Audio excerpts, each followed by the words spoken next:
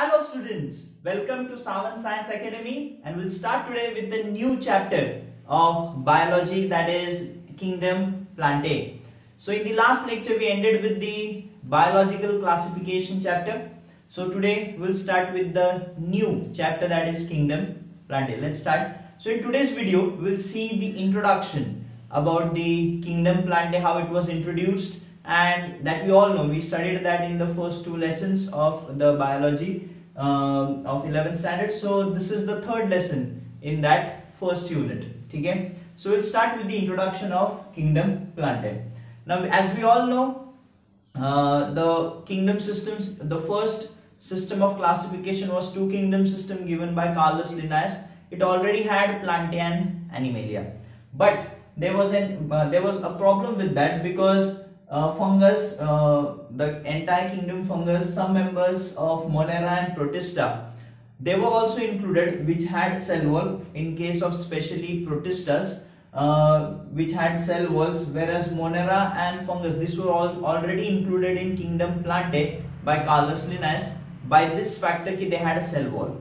Okay? But we know still there is a quite differences between them so then came the three kingdom system where Haeckel separated the protist. Then Copeland gave the four kingdom system where he separated the moneras. And finally Whittaker, uh, he separated fungus from it. So simply because uh, Monera were excluded from kingdom plantae basically based on the cell structure because Moneras are prokaryotes and we all know plantaes they are eukaryotic. So on that basis they were separated from the plantae. Protistas and funguses were still there on the basis of cell wall. Then these two were further separated based on the cell wall composition. The composition of cell wall of protists is different from that of plants because plant has uh, cellulose and pectin generally. Uh, hence they were separated. Fungus had chitin or fungal cellulose as its composition of its cell wall. So based on that and plus funguses are also heterotrophs when we say kingdom plantae they are all uh, under autotrophs. Okay by the mode of nutrition they are all autotrophs. So based on that funguses monera and protistas they were separated from kingdom plantae which were earlier in the two kingdom system. So rh whittaker in 1969 obviously made that five kingdom system where uh, these all corrections were made. Plus even during that time cyanobacteria which were known as blue green algae okay as we know they come under eubacteria. So they were later on shifted to monera so even the so all these corrections were made by the five kingdom system. And today uh, kingdom plantae has its own group of organisms which are exclusively autotrophs eukaryotes multicellular. So we'll see we saw those features in the uh, first chapter itself take our second chapter rather itself ki what are the basic points of uh, what is basic points in kingdom plantae the cell type cell nature nuclear membrane mode of nutrition mode of reproduction we saw that. So in the second lesson we saw that. So that's uh, that is what uh, kingdom plant is. Now there were many attempts made to classify this and today also for better classification of plants uh, we use various systems of classification. Let's see the first three because these were the uh, what you can say initial ways to classify the plants. Later on today in the today's system we use many other forms. Uh, that is for taxonomy.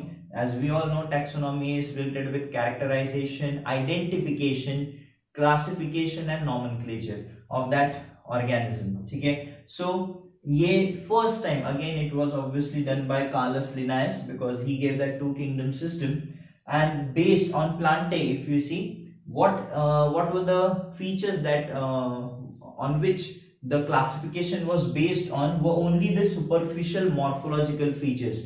Means all how the leaves are habitat color then uh, flower the nature of flower in that sense. So based on the superficial morphological characters like the habitat in which the plant used to be color means the pigments to be precise externally number and shape of leaves how they are arranged. On that basis plants were classified initially.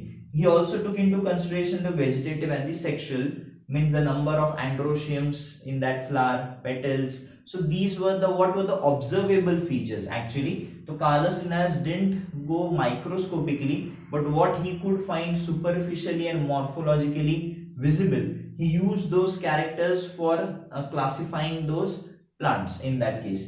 But this system had some drawbacks. Like the vegetative characters were not acceptable. I'll just give you an example. Like uh, say leaves uh, of the plant. Now in case of a region where there is less water generally a plant produces a small size of leaf. If that same plant is put in a region where there is abundance of water you can see changes in the shape of the leaves. Okay? So this can be uh, what you can say can't be used. So these vegetative characters change based on the habitat climate which they uh, are in. So with absolute confirmation, we cannot classify plants having their vegetative characters. Okay? The size of fruit say it may vary from place to place of the same plant.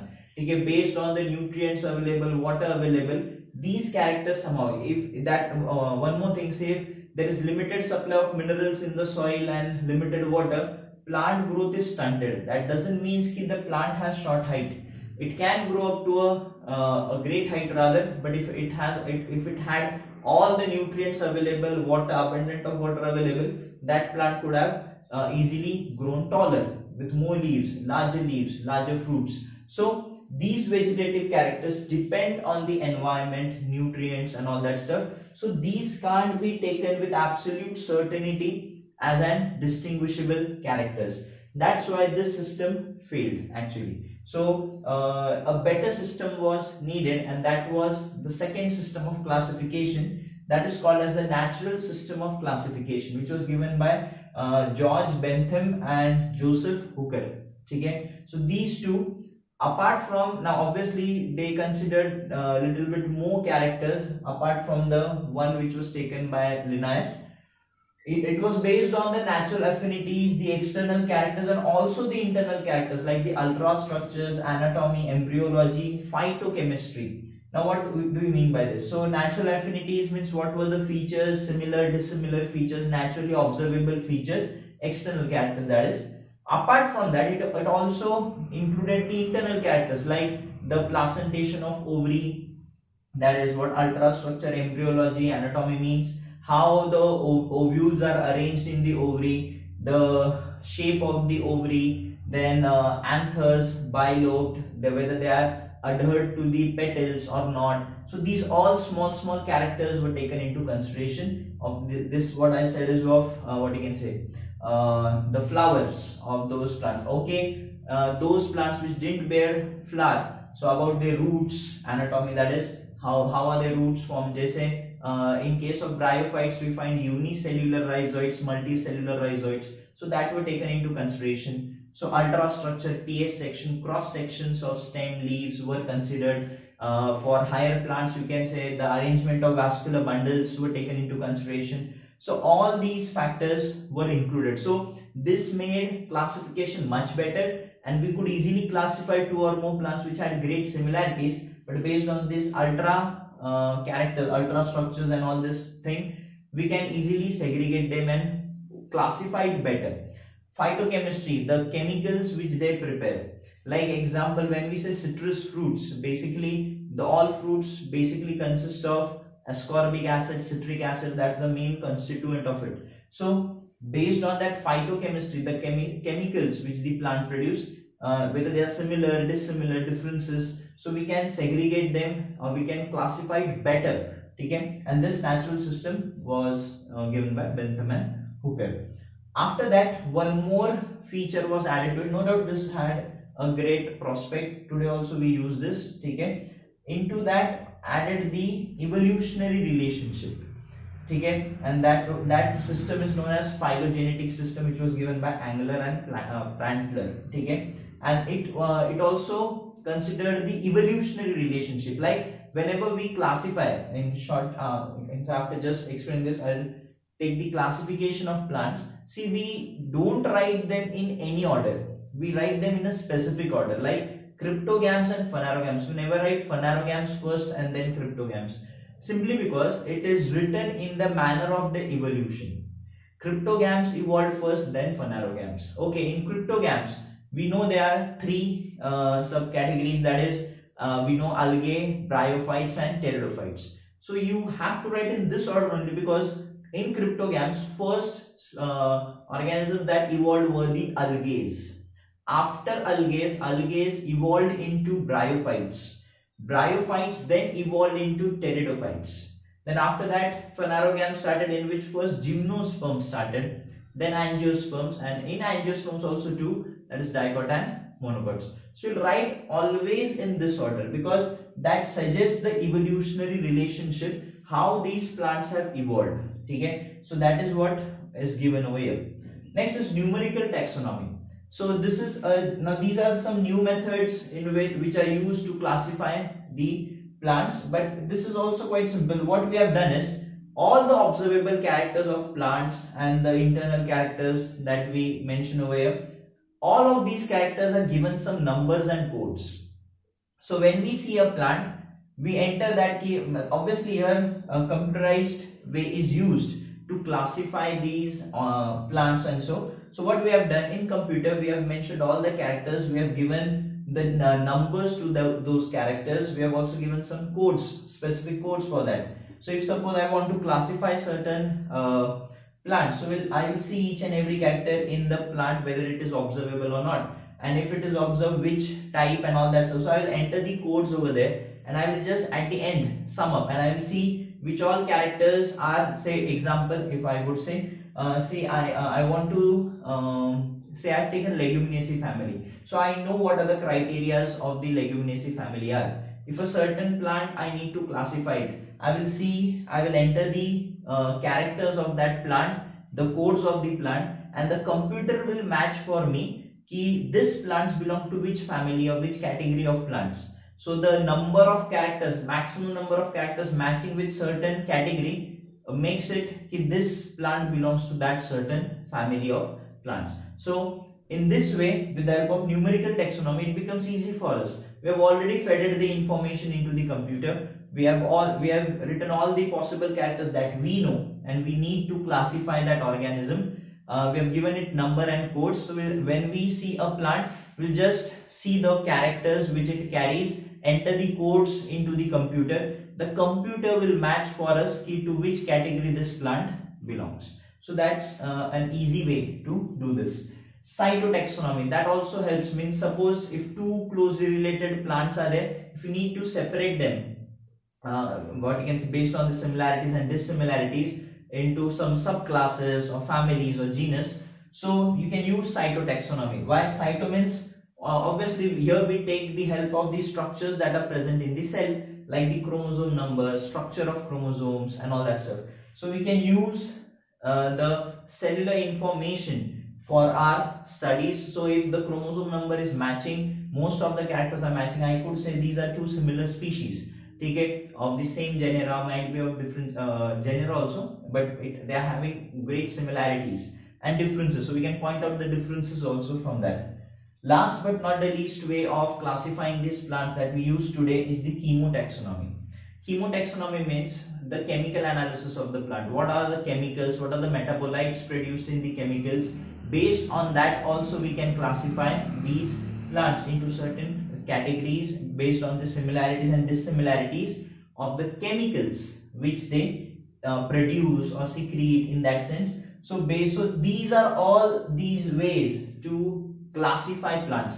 It began with the Carlos Linnaeus system which is known as the artificial system. And today also we use this natural system of classification in uh, what you can say uh, it has great importance for uh, which is used in classification of plants apart from that the modern way of uh, classifying it has also entered into this that is the numerical taxonomy cytotaxonomy and chemotaxonomy. Also we give a great importance to the evolutionary relationship how these plants evolved gradually. So that was given by the Engler and Prantler so uh, these are all the ways to classify the plants or other uh, these are the systems of classification we use for classification of kingdom plantae. So uh, we'll just have a small look on the classification of kingdom plantae and then so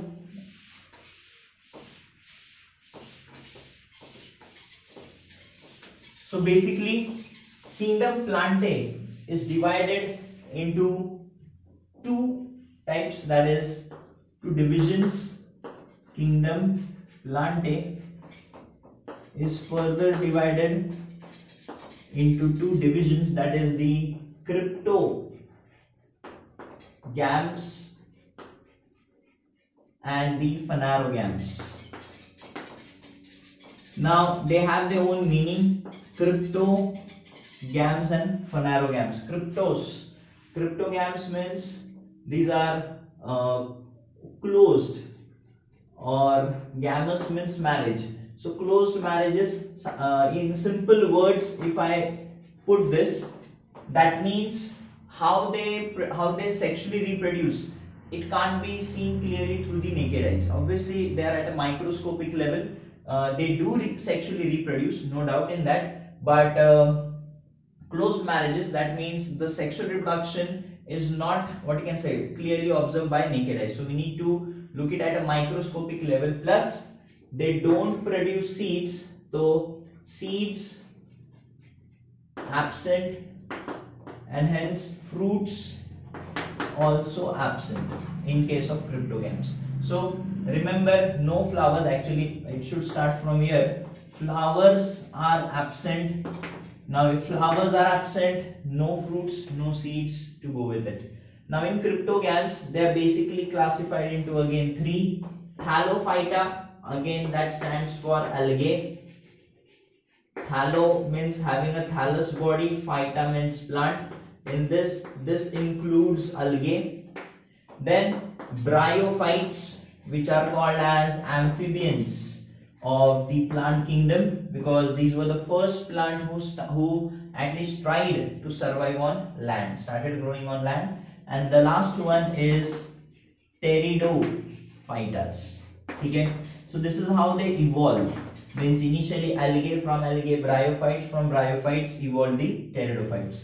So cryptogams and phanerogams. Now phanerogams means open marriages simply because how these plants sexually reproduce can be observed very clearly because they produce a special reproductive uh, organ that we know as flowers and because of that their sexual reproduction is quite easy and it is easily observable. Now again obviously when we say phanerogams so flowers are present so seeds are present okay? So here they produce seeds after sexual reproduction. Now gymno. Gymnosperms means in iska translation if we see its meaning gymnos means naked and spermas means seeds. Means simple these plants produce seeds but fruits are absent. Rather the flowers have androecium gynoecium they are not those typical flowers which have vibrant colors fragrance and all. So these were initial so uh, initial stages of that uh, in gymnosperms. So they had and uh, androecium gynoecium but they don't have they did uh, rather the gymnosperm uh, plants don't have those vibrant uh, calyx corolla like. So even the seeds are naked means they have ovules but they are not covered under the ovaries. And since ovaries are absent fruit formation is not seen. And angiosperms angiosperms means simple. These are naked seeds so these are seeds covered with ovary or present in ovary covered with ovary that is fruit. Okay? Ovary that uh, fertilized ovary is said to be fruit. So uh, in that also we have two types in angiosperm dicot plants simply where the seeds produced have two cotyledons are dicots and monocots the seeds produced have only one cotyledon. So we'll see that in detail in the next lecture of this topic so this is the basic primary classification of kingdom plantae. Cryptos, phanerogams, cryptogams in algae, bryophytes, pteridophytes. We'll see each of this in detail. Okay? In the next video, we'll start with the thallophyta or the algae basic characters. Phanerogams basically into two gymnosperms and angiosperms and angiosperms are further divided into dicots and monocots. So this was the introduction of this chapter. In next video we will see or the next lecture we will see about detail in algae. We'll start with algae rather. So guys hit the like button, subscribe the channel, share it with your friends, hit the bell icon for further notifications. Thank you.